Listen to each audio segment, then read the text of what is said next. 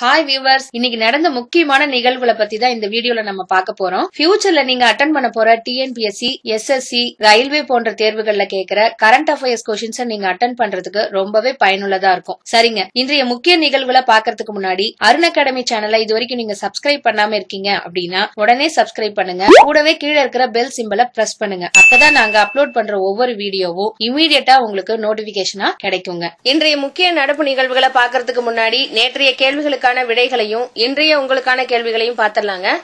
நேற்றைய கேள்விகள்ல முதல் கேள்விக்கான விடை இருபத்தி ஏழாவது. இரண்டாவது கேள்விக்கான விடை வெண்கலம். மூன்றாவது கேள்விக்கு ஆயிரத்தி தொள்ளாயிரத்தி நாற்பத்தி எட்டு. நான்காவது கேள்விக்கு சீனா. ஐந்தாவது கேள்விக்கான விடை சர்வதேச தாலசீமியா தினம். இன்றைய உங்களுக்கான முதல் கேள்வி மத்திய பிரதேசத்தின் ஏழு நகரங்களுக்கான கட்டுப்பாட்டு மற்றும் கட்டளை மையம் எந்த இடத்தில் அமைக்கப்பட உள்ளது? இதற்கான answer options option A Bhopal option B Indore option C Gwalior option D Jabalpur இன்றைய உங்களுக்கான இரண்டாவது கேள்வி நேஷனல் நர்சஸ் டே அதாவது தேசிய செவிலியர்கள் தினம் எப்போது கொண்டாடப்படுகிறது?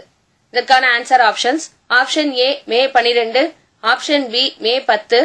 ஆப்ஷன் சி மே ஆறு. ஆப்ஷன் டி மே எட்டு. உங்களுக்கான மூன்றாவது கேள்வி அமெரிக்காவின் இரண்டாவது பெண் நீதிபதி யார்? இதற்கான answer options option A Sudha Balakrishnan. Option B Deepa Ambekar option C Rajarajeshwari. Option D Indira Banerjee. உங்களுக்கான நான்காவது கேள்வி மாஸ்கோ எந்த நாட்டின் தலைநகர்? இதற்கான answer options option A Russia. Option B China. Option C Pakistan. Option D Philippines உங்களுக்கான ஐந்தாவது கேள்வி. சர்வதேச குடும்ப தினம் எந்த ஆண்டு முதல் கொண்டாடப்பட்டு வருகிறது? இதற்கான ஆன்சர் ஆப்ஷன்ஸ் ஆப்ஷன் ஏ ஆயிரத்தி தொள்ளாயிரத்தி தொண்ணூத்தி ஆறு. ஆப்ஷன் பி ஆயிரத்தி தொள்ளாயிரத்தி தொண்ணூத்தி எட்டு. ஆப்ஷன் சி இரண்டாயிரத்தி பத்து. ஆப்ஷன் டி இரண்டாயிரத்தி இரண்டு. சரிங்க இந்த கேள்விகளுக்கெல்லாம் பதில் தெரிஞ்சதுன்னா கீழே கமெண்ட்ல ஆன்சர் பண்ணுங்க. அப்படி தெரியலனா பதினொன்னு அஞ்சு ரெண்டாயிரத்தி பதினெட்டுல இருந்து பதினஞ்சு அஞ்சு ரெண்டாயிரத்தி பதினெட்டு வரையிலும் நாங்க அப்லோட் பண்ண வீடியோவை பாருங்க. அடுத்த வீடியோல நான் இந்த கேள்விகளுக்கான விடைகளை சொல்றேங்க. இன்றைய முக்கிய நடப்பு நிகழ்வுகள்ல முதல்ல நம்ம பார்க்க போறது இன்டர்நேஷனல் நியூஸ் அதாவது சர்வதேச நிகழ்வுகள்.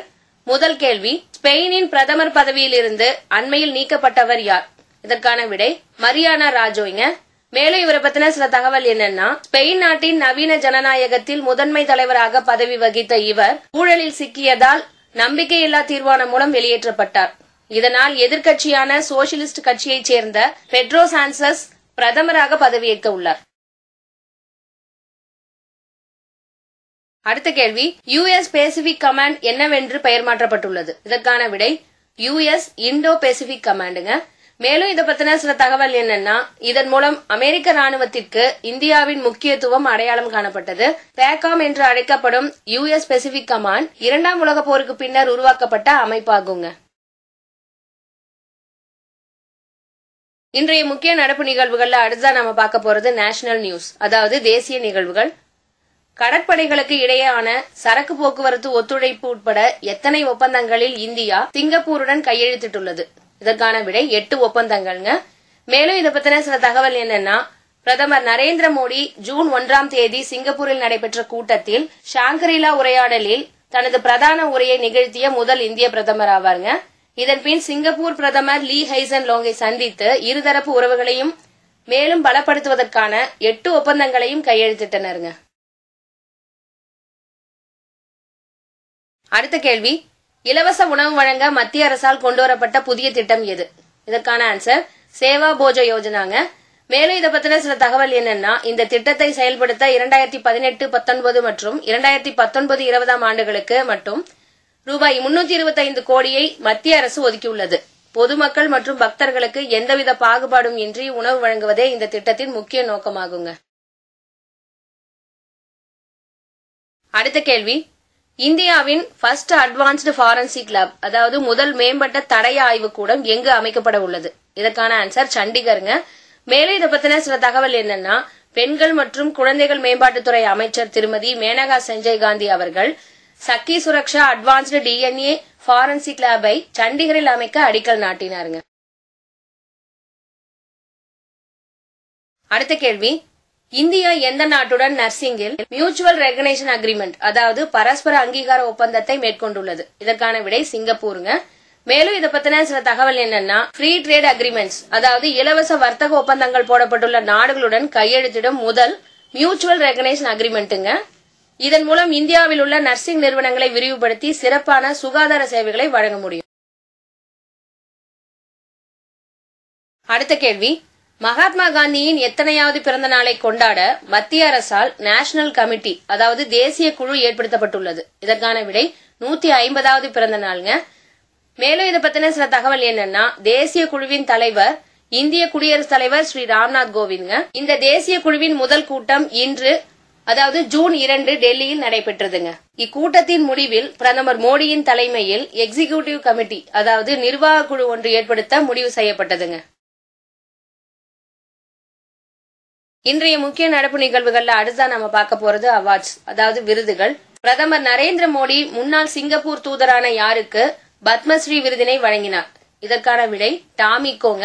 மேலும் இவரை பத்தின சில தகவல் என்னன்னா எண்பது வயதான டாமிகோ அமெரிக்கா மற்றும் ஐக்கிய நாடுகளுக்கான சிங்கப்பூரின் தூதராக பணியாற்றியுள்ளார். இதேபோல் ஆயிரத்தி தொள்ளாயிரத்தி எண்பத்தி ஒன்னு மற்றும் ஆயிரத்தி தொள்ளாயிரத்தி எண்பத்தி ரெண்டாம் ஆண்டு கடல் சட்டத்தின்படி மூன்றாவது ஐக்கிய நாடுகள் மாநாட்டின் தலைவராக பணியாற்றியிருக்காருங்க.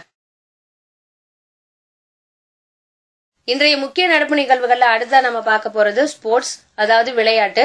உலக மகளிர் ஹாக்கி கோப்பை போட்டி வரும் ஜூலை மாதம் எங்கு நடைபெற உள்ளது? இதற்கான விடை லண்டனில்ங்க.